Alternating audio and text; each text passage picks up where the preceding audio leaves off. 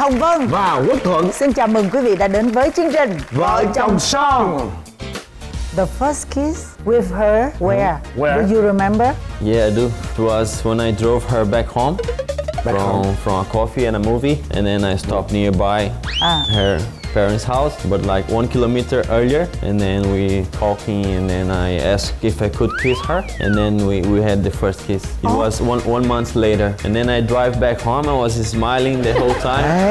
Yeah. Bạn này cầu hôn em có lãng mạn không? Dạ không, con còn hôn bao lâu trước, con còn hôn bao lâu trước Ồ, thiệt không? Ui, Có ghen không? trời ơi, ghen lắm Nếu mà đi bình thường, đàn ông con trai người ta nhìn, ví dụ nhìn liếc liếc nhìn sơ sơ thôi thì không sao Nhưng mà nếu mà trình trực dị cho con luôn á, để ý thì anh sẽ lại nói chuyện với người đó Ồ. Là sao nhìn vợ tao vậy?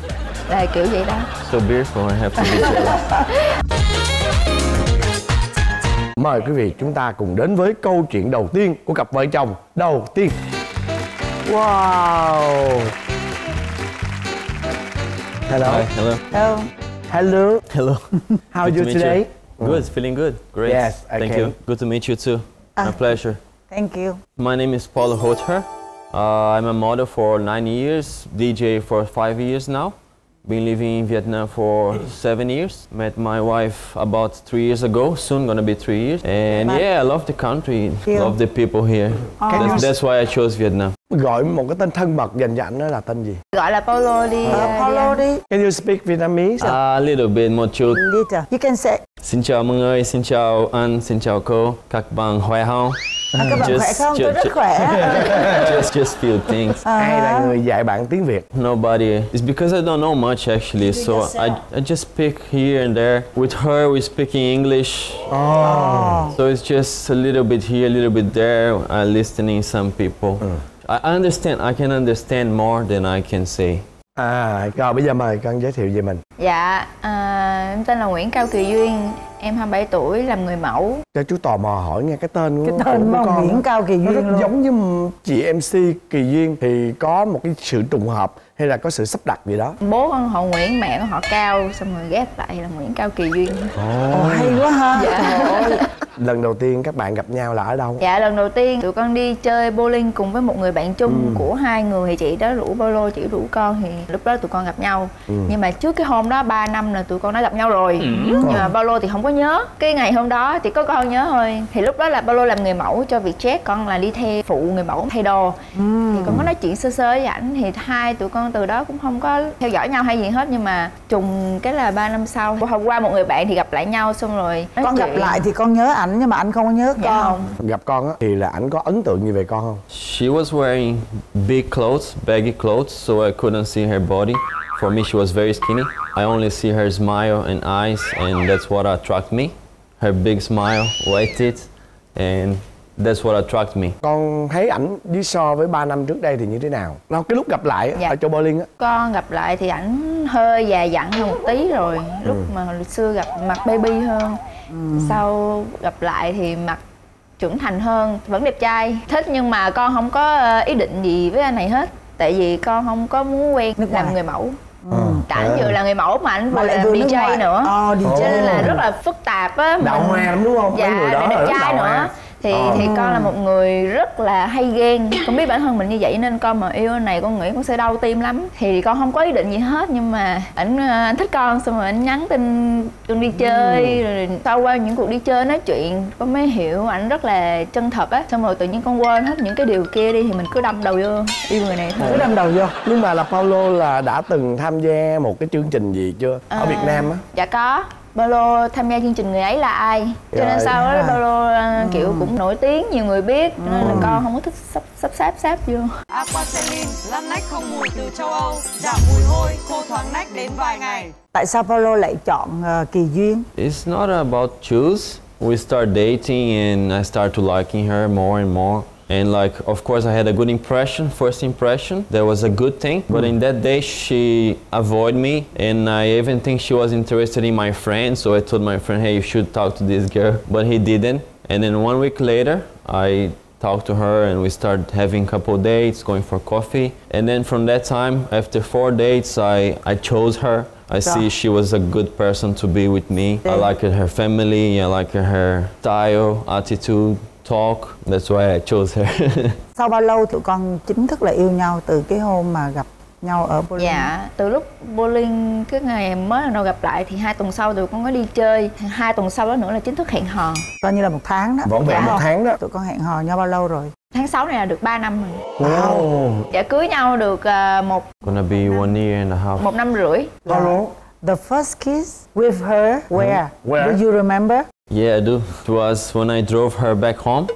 Back from home. from a coffee and a movie, and then I stopped nearby Ah. her parents' house, but like one kilometer earlier, and then we talking, and then I asked if I could kiss her, and then we, we had the first kiss. It was one one month later. Đó, the feeling uh, your kiss Your- How do you feel? I think if I should do earlier, first day, second date, but it was actually perfect. I wait a little bit more because I got to know she was a good girl, good person, and the feeling was was awesome. And then I drive back home, I was smiling the whole time. Yeah. Thế còn con thì sao? Con cũng vậy con xong cái vô nhà cái con cũng cười quá trời cười luôn Mẹ con cùng sao mày cười hoài vậy Ừ. Con nó có nói đâu con cũng chỉ cười thôi Rồi sau đó là hai đứa coi như là có sống thử với nhau trước khi đám cưới không?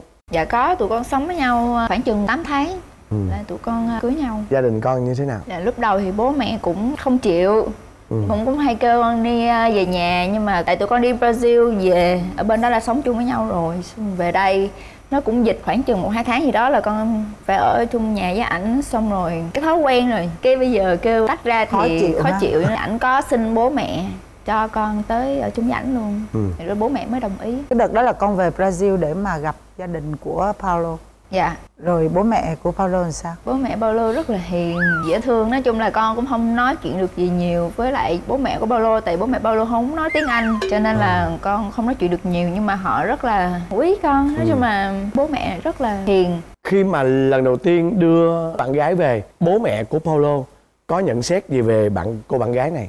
The first day when we came, when we fly to Brazil, she she go to my parents' house with pink hair. Was a little bit pink. Yes They kind of didn't like that much, but the rest they like it. They like it that mm. she not so big girl, small girl, good size for me. Cute. She smile. She she offer help for them, what she could do, maybe cooking or something like that, and so they love it. Bạn này cầu hôn em có lãng mạn không? dạ không con còn hôn Paulo trước con còn hôn Paulo trước Ồ Thiệt rồi không?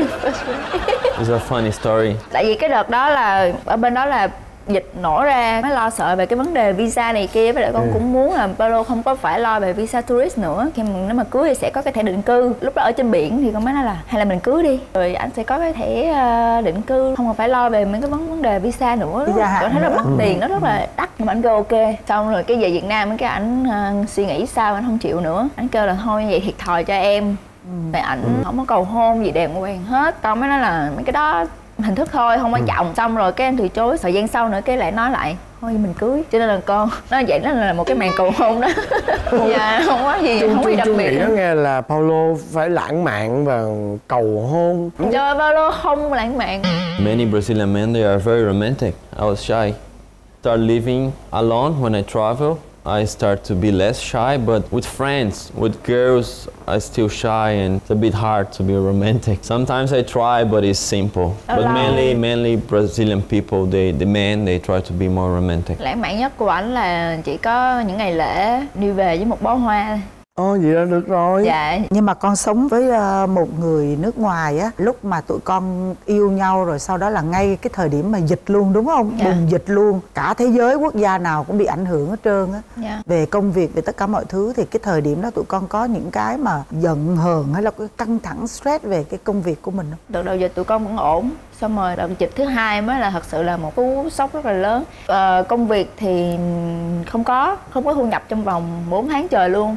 Thì cái đó nó cũng ảnh hưởng tụi con. Nhưng mà tụi con thường không có cãi nhau về vấn đề tiền bạc nhiều không có cãi về cái vấn đề áp lực mà chỉ cãi nhau về những cái uh, lặt vặt li ti ở trong nhà thôi. Với lại cái thời điểm đó là cái thời điểm Paulo rơi vào trầm cảm. Những cái gì mà nó nhỏ nhặt nhất Paulo cũng rất là dễ nóng giận. Cho nên là cãi nhau. Sau đó thì con mới thấy là Paulo bị như vậy cho nên là những cái chuyện nhỏ đó thì con thôi cũng nhịn con không có cãi lại làm cái gì hết. Và tụi con vượt qua cái cái thời điểm đó là mấy tháng? Ờ, cái đợt đầu dịch đó thì Paulo cũng bị nhẹ nhẹ thôi xong rồi đợt dịch thứ hai mới bị nặng chắc cũng phải hai năm á. Ồ, Wow. dữ gì hả? Dạ. Cái đợt thứ hai là bao lâu? Tầm 8 tháng á. đó thì em mới hiểu cái điều đó. Sau đó thì là có một cái đám cưới là hoành tráng không? Dạ tụi em chưa làm đám cưới tụi em À, mới đăng mới ký đăng kết ký kết hôn, hôn. rồi đúng dạ. không? tụi em muốn đợi à, bố mẹ Paulo năm nay về tụi em à, tổ chức đám cưới? Có dự kiến chưa? Cuối năm ạ. Cuối năm. vậy là khi mà hai đứa bắt đầu sống thử với nhau có lòi ra tật xấu gì không? Dạ tật xấu là cực kỳ nóng tính sau dịch thì còn nóng tính hơn nữa. Wow.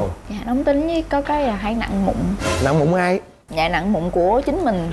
Có nặng mụn con không? Dạ không. Tắm xong thì thì thôi đi đi ta lau khô người đi ra đi không nhìn vô gương. Xong rồi á là thấy một đống đống luôn xong rồi nặng nặng một hồi là quên xong rồi cái lúc mà nhận ra thì là mình đã mặt bấy hả đầy vết thương ở trên mặt là sao? Xong rồi buồn trầm tư xong rồi cứ ngồi suy nghĩ mụn? à, dạ đúng rồi đó. Nhưng mà bây giờ cải thiện giống như là hồi hồi đó bị trầm cảm cũng một phần là do bị nặng mụn. Có ghen không? Trời ơi ghen lắm. Nếu mà đi bình thường Đàn ông con trai người ta nhìn Ví dụ nhìn liếc liếc nhìn sơ sơ thôi thì không sao Nhưng mà nếu mà trình trực diện vô con luôn á Để ý Thì anh sẽ lại nói chuyện với người đó. Ồ. Là sao nhìn vợ tao vậy Là kiểu vậy đó. So beautiful, I have to be jealous. còn còn gì nữa nè. Ngủ. Hay bị mộng du á Cô chú Có có một cái hôm mà con con kiểu buồn Và bị sốc luôn á Là tại vì là hôm đó tụi con đang ở Đà Nẵng trong khách sạn cái anh thức dậy anh kêu là em thật là giả tạo. Em thật là giả tạo? Tại sao em lại như vậy? Con không hiểu gì hết. Anh Kêu, nhắm "Ủa, mắt tại sao anh lại nhắm mắt hay là mở mắt? Lúc đó anh đang mở mắt luôn. Ờ. là lúc đó anh tỉnh rồi. Tại sao anh lại nói em vậy xong kêu là anh nằm mơ anh thấy tụi mình cãi lộn. Ồ, Con không vậy là ghen trong mơ rồi. xong rồi dạ xong rồi Ừ. nguyên một đêm ngủ không có ôm con luôn. Thật tới nỗi mà anh không biết được đâu là thật đâu là giả. Xong rồi ngày hôm sau thì anh xin lỗi anh mới nhận ra đó là mơ. Mơ con đang nằm ngủ cái anh kêu là anh thấy người đó đang nhìn tụi mình. Xong rồi cứ chỉ ơi con, sợ con sợ sao không sợ có Má. đi tới đi lui không dạ có trời ơi. Dậy xong rồi cái là đi vòng quanh nhà luôn. Anh thấy họ anh thấy họ. Cái quay lại hỏi là em có biết những cái người mà hay vòng ngó nhà của người khác không? Con nói là biết. Giờ họ đang ở đây nè. Xong rồi quay lại ngủ sáng sáng ngày hôm sau hỏi lại không nhớ? Không biết gì đâu. Đó là đang đang ngủ mà. Nói cho bao lô có một cái nỗi sợ là sợ bị ai đó vô nhà cướp đồ. Cho nên là lúc nào cũng mơ ừ. hay có có trộm cướp vô nhà hết trơn á rất là sợ. Bây giờ con mong Paulo thay đổi điều gì không con chỉ mong có một cái là bớt nóng tính lại thôi. Con I just hope you like calm down more. Less jealous rồi giờ tới Paulo đó. She loves to watch Chinese and Korean TV shows and uh, every day. rồi còn gì nữa? Nothing else. She cook, Cooking. she cook. She she learned to cook when we started dating and lived together So because of me. She couldn't cook and she learned and she do good. con nấu thì anh cũng khá ngon chứ thì con cũng nghĩ là con nấu ờ, cũng ok tại vì con tự coi tự học tự nấu cho nên là ảnh không có cái ờ, complain về điều đó đâu Do you want her change more No, she did already. I'm happy with her change. Yes. Ờ, quá trời là là là sung sướng. Ủa nhưng mà Tụi tụi con là đã có em bé Ờ. chưa? Thì con có hai bé. Ủa hai bé rồi hả? Dạ một bé trai một bé gái. Bé cún phải không? Bé cún phải không? Dạ. Một bé mèo. You want have baby? I want yes, but if I already have my my babies now, this year or next year?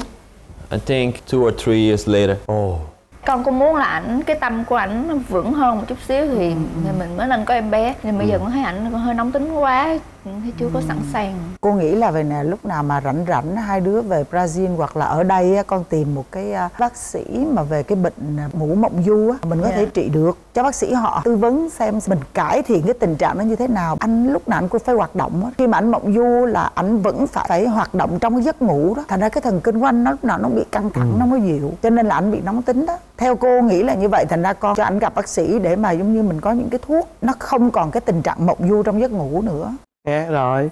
Cảm ơn Thank chị you. Duyên. À. cảm ơn Paulo đã đến với chương trình Thank chồng son Paulo. Nè, chút nữa chúng ta sẽ gặp lại nhau. Dạ. Con thích hoa bi thật là nhiều hoa bi luôn con không có thích những hoa khác.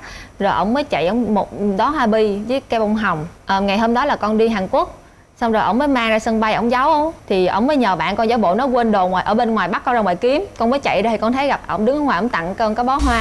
Là lần đầu tiên luôn á từ lúc quen nhau mấy năm là con mới nhận được cái đó hoa. Mà lúc đó là chưa làm chồng đó. Dạ chưa mới mới làm gọi là người yêu. thôi. Thì dạ đó không làm thôi làm là bất ngờ quá luôn á. Đúng không? Nhưng mà Ừ. lúc đó chưa nhưng mà còn cái vấn đề nữa sao không nói luôn? Cái đó hoa bi đó làm sao số phận nó làm sao? Con ờ, thì tính con hay quên cho nên là cô để quên bên Hàn Quốc. Bỏ quên bên Hàn Quốc chứ không là không mang cái bó hoa đó về đi tới giữa đường còn nửa tiếng nữa là tới giờ xe chạy. Thì mới phát hiện ra là quên cái điện thoại ở nhà. Ờ, mà hướng dẫn viên mà lên tour đoàn mấy chục xe mà quên Mà cái điện không thoại có điện thoại lại không có làm việc Dạ. được. Rồi sao? không làm việc được. Rồi. thì lúc đó là trời em rất là tức. Tức đến mức mà cái đó cũng là cái vụ quên lớn nhất mà mà trước đến giờ quên luôn. Bây giờ xin mời quý vị chúng ta cùng à, tiếp tục với câu chuyện của cặp vợ chồng số 2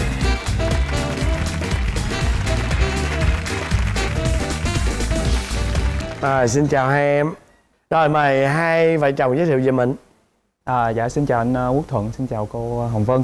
À, em tên là Thái Đức Hòa, à, hiện đang là một uh, hướng dẫn viên du lịch. à, bao nhiêu tuổi rồi À, dạ con uh, 27 tuổi ạ. À, Em ơi Dạ, con chào cô Hồng Vân với lại chào anh Quốc Thuận. À, con tên là Trần Thị Kim Xuân. Kim À, con Xuân. cũng 27 tuổi, bằng tuổi. Hả? Dạ và hiện tại con cũng đang sinh sống và làm việc ở thành phố Hồ Chí Minh. 27 tuổi công việc của con là gì? Bữa Xuân Ừ, dạ, thật ra thì ờ, công việc của con con tốt nghiệp là học làm hướng dẫn viên du lịch luôn, cũng Ừ. làm hướng dẫn viên du lịch được vài năm. Xong rồi ờ, dịch quá thì con đổi qua làm thẩm mỹ viện. à vậy hả Dạ. Ủa như vậy nè Học chung trường với nhau thanh mai mã quen hả? nhau nè đúng không? Dạ chung lớp luôn ạ. Học chung từ đại đại học. học. Đại học. Ờ. dạ. học đại học mới gặp tại vì con là ở quê con ở ờ, tỉnh Kiên Giang rồi con lên Sài Gòn con học đại học thì mới gặp ừ, bạn này thì ờ, chơi chung nhóm cũng mày tao luôn. Ấn tượng đầu tiên về về chồng con á là không nghĩ là dân Sài Gòn luôn. Tại vì nha, bề ngoài đi học á thì mặc có quần ống bát mà bạc màu mà mặc áo sơ mi tay dài tới đây mà không có săn Ồ. cứ để vậy đó cứ lũ phụ lóng đó. lóng thẩm vậy đó. Đầu thì đầu thì đầu thì bơm sòm như nè giống như là tưởng như là mấy người trai Hàn Quốc nhưng mà nó hơi lố hơn xíu. Dạ. là nhìn không hề biết là đây là anh trai Sài Gòn luôn. Không hề biết luôn. Nhưng mà thực sự là người ta đó là người Sài Gòn rồi. Là ở đây là Sài Gòn, tức là đi đâu cũng là nhà cho nên thì cứ ăn mặc cái bình thường dưới nhà thôi chứ đâu phải là đi tiệc đi gì đâu. đó là gu thời trang của con hay là con thích vậy để chọc À, mấy bạn Thật sự thì lúc đó con ờ, nghĩ rằng á là Mặc không thoải mái thôi, đúng không? Đúng rồi, mặc sao mình thoải mái thôi. thế mà rồi con có ấn tượng gì với cô Kim Xuân này không Dạ ấn tượng á thì tại vì ờ, đó ờ, vợ con nói chung là là đẹp à, đẹp theo cái gu của con nha em mới kiểu tức em mới nói là tao là tao chỉ thích mấy đứa dễ thương thôi. Đó, còn mấy đứa đẹp là không thích không quan tâm là à, là con nói về cái tiêu chí của con á Dạ, đúng rồi, đúng rồi. Ồ. Đúng rồi. còn con có tiêu chí gì không? Bạn làm việc á, hay là bạn ờ, học nói chung là học nhóm bất kỳ vấn đề gì mà cần cái sự làm việc tập trung á, là bạn tập trung rất là cao độ. Và cái việc mà cái người mà người ta tập trung vào công việc á nó thu hút nó thu hút con về về cái ờ, cái điều đó. Ừ, đó. dạ. Ban đầu chỉ là bạn thôi tại vì lúc mà hai đứa gặp nhau là bạn này có bạn gái mà con cũng có bạn trai. Nhưng mà con vẫn không hề ờ, e sợ cái ờ, đồ đạc quần áo lũng tha lũng thủng của ảnh đúng không? Hình thức dạ đó. dạ Ừ. con thì tụi con thì cũng không quan tâm hình thức lắm. Rồi đến khi nào thì hai đứa mới à, chia tay mối tình của mình để mà đến với dạ. nhau? Ờ, tới năm 2 đại học chia tay cũng từng cặp từng cặp tự chia tay luôn. Coi như là chia tay rồi ai tỏ tình với ai trước nè. Cái này thì nó lại là một cái cái, cái, cái câu chuyện nó hơi bị lọc vòng luôn. Tỏ tình á tỏ tình thì là em em em tỏ tình trước. Ờ, lúc đó thì ờ, lúc đầu là xuân từ chối đúng không? Lúc đầu là vợ từ chối đúng không? Chồng em nói chung là rất là cục xúc. Tại thời điểm nó cũng là mày tao mà cũng cũng mày tao bạn bè sòng phẳng mà. Dạ. đi ăn cũng trả tiền tự trả thôi chứ đâu có vấn đề gì đâu. Tụi con mới có một cái bữa biết tích đi chơi với nhau đi tắm suối xong rồi đi về thì mới chia cặp chở nhau về. Thì lúc nào bạn này cũng chở con hết tại vì bạn này là nhà tiện đường đưa con đi học ngày nào cũng đưa con đi học hết mà đi chơi cũng chở con luôn. Rồi trở về thì con buồn ngủ con mệt quá con mới nói là ê cho tao dựa vai xíu tao ngủ. Bà kêu là ờ mày để hai tay vô túi khoát tay nào cho đỡ đừng bị té. Xong con cũng dựa vô con ngủ nhưng mà thật ra mình đâu có ngủ được mình ngồi mình mệt thì mình dựa thôi. Cái bạn ngồi chứ bạn nói nè đã tao không muốn nói rồi mày làm gì sao tao chịu nổi là à, ta không muốn nói là tao thương mày đó Dạ. tao thích mày mày còn dựa vậy là sao tao chịu nổi? Ờ đúng rồi đó. Mình nghĩ là dựa là mình đè lên đó. Là sao chịu nổi đúng không? Dạ Ờ. dạ tức là mình nghĩ là bạn nhận thức thì thì thì mới nói như vậy. Tại cái, là- cái tay còn động đậy đúng không? Dạ đúng rồi dạng như lật đầu qua lật đầu lại dạng như ờ, biết. mà lúc đó là lúc đó là con con im lặng luôn cô im lặng chở tới về tới nhà luôn. Bạn này mới ngồi ngoài trước cửa nhà đợi đợi con tắm rửa thay đồ xong hết cái chở con đi ăn chở con đi ăn xong lại chở con về. Không nói gì hết im lặng luôn. Cái xong nhắn tin cho con hỏi là mày thấy làm sao? Mày thấy sao? con từ chối con không có đồng ý. Con nói là không con muốn giữ cái mối quan hệ bạn bè thôi chứ không có muốn tiến tới. Rồi lúc đó À. hoài sao? Ờ, em nhận được cái cái cái lời, câu trả lời vậy thì ờ, chắc thì mình cũng ngậm ngùi thôi. Tức là mình mình không không mình không biết nói gì. Với lại mình một phần mình cũng dạng như là à, ta đây á Phải giữ vậy sĩ cho nên là- diện chứ. dạ đúng rồi thôi cũng được im được luôn. được thôi tôi rồi tôi- sao quen nhau được. Dạ Rồi xong sao rồi á con có um, hai đứa bạn ở chung phòng trọ hai đứa là giống như là tư vấn tâm lý tình cảm với xong rồi ngồi phân tích là coi là mày có thích nó hay không xem là nó có nên quen hay không quen gì đó ngồi phân tích cho mình nghe tại đó mình cũng rối. Rồi sao bạn tư vấn xong thấy sáng ra đúng Dạ, không? đúng rồi, thấy là sáng mình ra. nếu mà mình từ chối là mình bỏ đi một cái cơ hội với Dạ, một đúng người. rồi. đúng không? Dạ đúng rồi, rồi. sao đó sao? Xong mình thấy như vậy cái mình cũng nói ừ thì quen quen thôi chứ đâu có gì đâu. Chúng còn trẻ mà ngại gì. Cái con nhắn tin con hẹn bạn đi uống trà chanh để con có chuyện muốn nói cũng chở con đi ra quán ngồi. Con chưa kịp nói gì hết bạn xe qua bạn từ chối con luôn.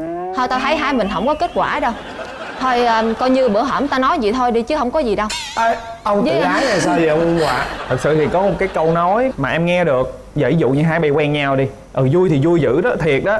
Nhưng mà ví dụ như lúc hai bay chia tay rồi cái nhóm nát luôn. Đó lúc em nhớ hoài câu cứ dặn dặn dặn trong đầu em nói ừ gì chắc không không nên không nên. Là coi như xong. Rồi xong sao? Bạn này là rất là đào hoa. Từ đó như là giận luôn giận luôn không chơi chung luôn không thèm gặp mặt không nói chuyện luôn.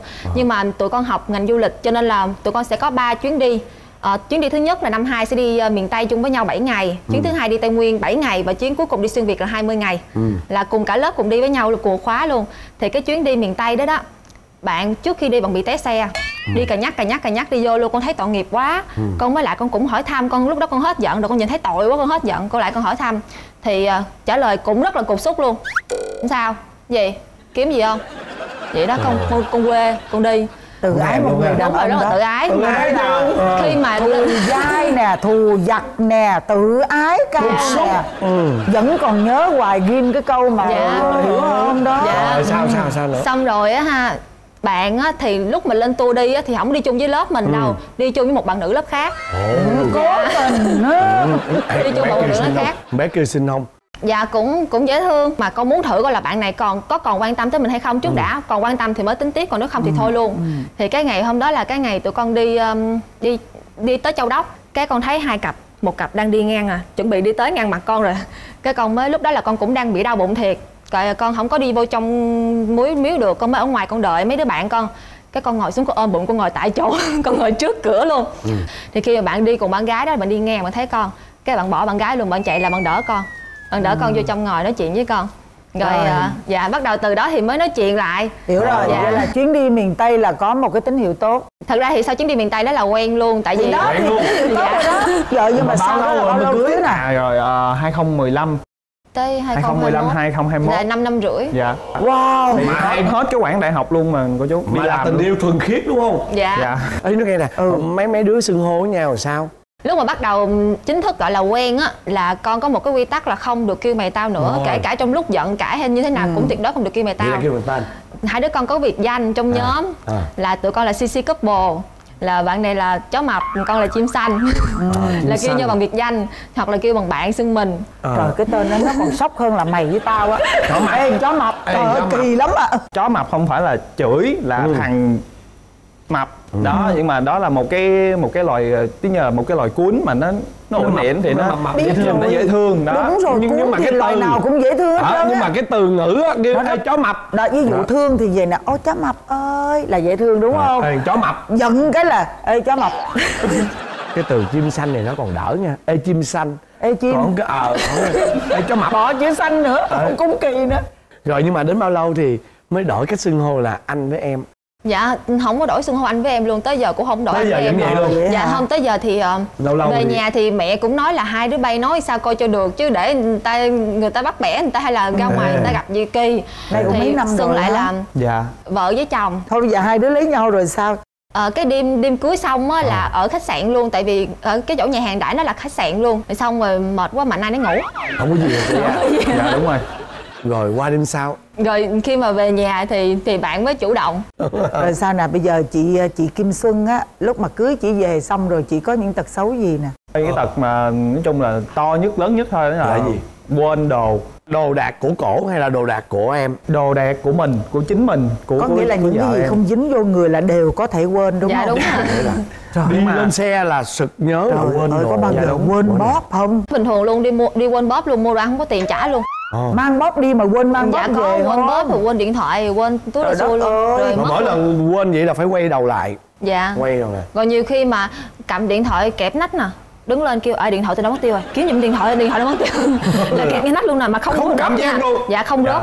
Dạ, còn để không rớt mà kiếm quá trời luôn. là lúc đó là hai đứa ờ, vẫn còn là sinh viên nhưng mà thực tập ở một công ty du lịch cũng cũng khá là nổi tiếng á. Thì lúc đó là người ta tạo điều kiện cho mình đi làm thì mình rất là vui rất là mừng rồi mà đợt đó là hai đứa đi chung một cái chuyến tour đó luôn. Tức là hai đứa là hướng dẫn viên đi tới giữa đường. Còn nửa tiếng nữa là tới giờ xe chạy. À. thì mới phát hiện ra là quên cái điện thoại ở nhà. Ờ, mà hướng dẫn viên mà lên tour đoàn mấy chục xe mà quên Mà cái điện không thoại có thì điện coi thoại là không có làm Dạ. việc được. Rồi sao? không làm việc được. Thì lúc đó là trời em rất là tức. Tức đến mức mà cái đó cũng là cái vụ quên lớn nhất mà mà trước đến giờ quên luôn. Nhưng mà xe có đợi không? Cuối cùng dạ không kịp giờ kịp giờ chỉ Vẫn lố đâu có bốn năm phút gì à, thôi dạ. sao? Như tập lại cái tính đi nghe. Dạ. cái mai mốt hay nghe giống như Quên tuần con trước luôn. đó quên con luôn. Quên con luôn. Con hả? cô dẫn về nhà ăn cơm. Cô dẫn về nhà ăn cơm. Thôi quên hai tiếng. á. rồi thôi bây giờ tới ảnh đi. Chồng con là người không có lãng mạn. Rất là quan tâm vợ nha. Có nghĩa là công việc nhà rất là chia sẻ cái gì cũng làm hết trơn á. Rửa chén cũng làm lau nhà cũng làm kìa kêu nấu ăn cũng nấu luôn. Ừ. mặc dù không biết làm nhưng mà vẫn làm thì nhà là toàn ảnh lau không mà ảnh không có cho con lau nhưng mà con vẫn cầm cây lau nhà con ra con lau nhà. Thì ảnh đi ra anh thấy mình lau nhà. Ảnh ra anh kêu nè thôi ra đi ra chỗ khác đi. Tay yếu xìu láo sạch dĩ chân cũng lau đây đưa cây đây. Là lấy tự lấy đau. Mà nói chuyện gì không đó. vẫn còn cái tính cục xúc đúng không? Dạ. quan tâm theo kiểu cục xúc. Nhưng mà mỗi lần nói vậy thì cái cảm giác của xuân thì như thế nào? Dạ ừ, riết rồi quen luôn riết rồi quen luôn cũng mà không? thay đổi dạ. là thấy khó chịu đúng không? Thay đổi cái mất hồn á. Em ơi Dạ, đúng rồi. em ơi đưa cái chổi lau nhà để anh lau nha em vô em Thì nghỉ nha. thường. Ờ, không ngày nào mà nói chuyện mà ngọt xíu là sẽ qua. Tính xin gì nói đi có một cái cái một cái ờ, cái tính luôn á là không bao giờ tặng quà hoặc là tặng hoa hoặc là chúc hay chúc thì cũng có đi nhưng mà không bao giờ tặng quà tặng hoa các ngày lễ tết. Tại vì quan niệm của ảnh là bất kỳ ngày nào cũng có thể tặng không nhất thiết ngày đó phải là cái ngày để mà được tặng. Là ảnh không bao giờ làm những cái điều này đó. Vậy thì Ok. bây giờ con mong ảnh thay đổi cái gì? Con thì ờ, con mong ảnh thực ra thì mình là phụ nữ mà lâu lâu mình cũng muốn có những cái ngày dịp nào đó đặc biệt không không cần phải là mua một cái gì đó đắt giá đâu nhiều khi về làm gì đó cho mình bất ngờ một xíu mình Đúng cũng thấy rồi. vui. Đã từng làm cho xuân một cái điều gì bất ngờ chưa kể từ khi làm chồng của xuân dạ có ờ, có hai lần là làm bất ngờ. Hầu như là tất cả những cái kỷ niệm hay là tất cả những cái dịp nào bất ngờ là toàn là con là người đi làm mà. Có hai lần đó là ông lỏng làm con bất ngờ. Lần đầu tiên là vào đúng cái ngày sinh nhật của con thì con là con thích hoa bi. Ừ. con thích hoa bi thật là nhiều hoa bi luôn con không có thích những hoa khác. Rồi ông mới chạy ông một đó hoa bi với cây bông hồng. Ờ, ngày hôm đó là con đi hàn quốc xong rồi ông mới mang ra sân bay ông giấu. Thì ông mới nhờ bạn con giả bộ nó quên đồ ngoài ở bên ngoài bắt con ra ngoài kiếm. Con mới chạy ra thì con thấy gặp ông đứng ở ngoài ông tặng con cái bó hoa. Là lần đầu tiên luôn á từ lúc quen nhau mấy năm là con mới nhận được cái đó hoa. Mà Không lúc làm đó là thôi. chưa làm chồng đó. Dạ Tức là chưa mới chứ đó là người yêu. yêu thôi. thì dạ đó không làm thôi làm là bất ngờ quá luôn á. Đúng luôn. không? Nhưng mà Ừ. lúc đó dạ. chưa làm nhưng mà chồng. còn cái vấn đề nữa sao không nói luôn? Cái đó hoa bi đó làm sao số phận nó làm sao? Con ờ, thì tính con hay quên cho nên là cô để quên bên Hàn Quốc. quên bên hàn quốc chứ không không mang cái bó hoa đó về. Trong Dạ. năm nay có làm điều gì trong bất năm đó ngờ có làm cho gì bất ngờ chưa? À điều bất ngờ hả? Dạ. Chưa đúng không? Trời ơi. Thôi bữa nay ráng làm gì bất ngờ đi. À, lãng mạn thì ờ, nói chung là chắc cũng không có gì nhiều. À, chỉ là chuẩn bị một cái ờ, một cái món quà mà theo cái phong cách của của vợ con yêu thích. Ồ. à Dạ. đó hoa bi hoa bi cái Hoa một bông hồng và một cây Cách bông hồng. cách đây 6 năm đó, đó. đây vẫn là một ờ, đóa hoa bi và một cây bông hồng ở giữa nhưng mà mọi khi á, thì con sẽ gói cái này là màu đen yêu cầu người ta gói màu đen nhưng mà hôm nay sẽ thay đổi một xíu à, hôm nay có một chút bất ngờ dành à, tặng cho vợ nhân chương trình này tạo cho em một cơ hội cơ hội đó chính là có được một cái à, bài hát thứ hai dành tặng Ồ. cho vợ mình dạ. Là em sáng tác hay sao? Sáng tác thì nó hơi cao quá tức là em À. tự chế tạo. Đó. À. à, dạ. Rồi thôi em thể như hiện. vậy là tôi tôi đoán được cái món quà thứ hai bạn này tặng vợ là một- cũng một cái bài hát. Hồi hồi lúc đó bây giờ bạn Đúng lặp không? lại hai cái 6 năm sau bạn lặp lại hai cái ok luôn. rồi bài hát, có nhạc thì lên nhạc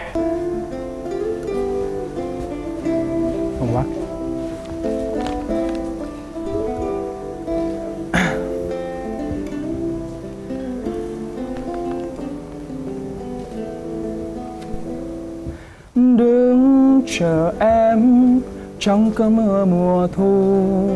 Chờ hơi lâu nhưng vẫn cố chờ. Từ bài hát đầu tiên, những giai điệu vang lên đầu tiên. Anh biết à thì ra em đã yêu lòng.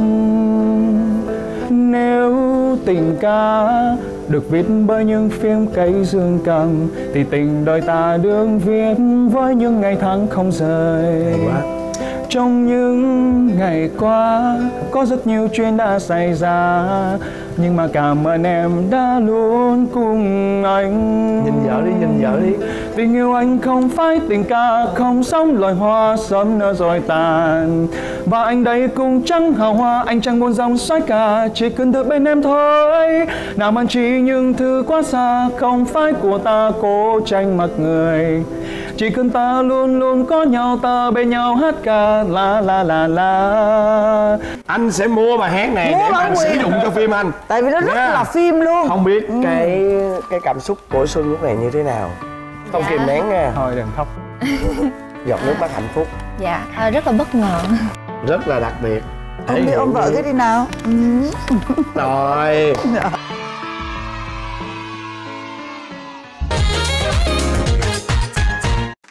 Và bây giờ sẽ là phần kiểm tra hữu ý và bốc thăm may mắn Trước tiên đó chính là trọn bộ Somo Jurica với 5 màu sắc trẻ trung đến từ Love Shopping Và món quà thứ hai đó chính là sản phẩm cốt phở bò của công ty Quốc Việt Food được sản xuất theo tiêu chuẩn FDA giúp cho món ăn thơm ngon tròn vị và tiện lợi hơn trong quá trình chế biến. Sản phẩm không có MSG và không dùng chất bảo quản.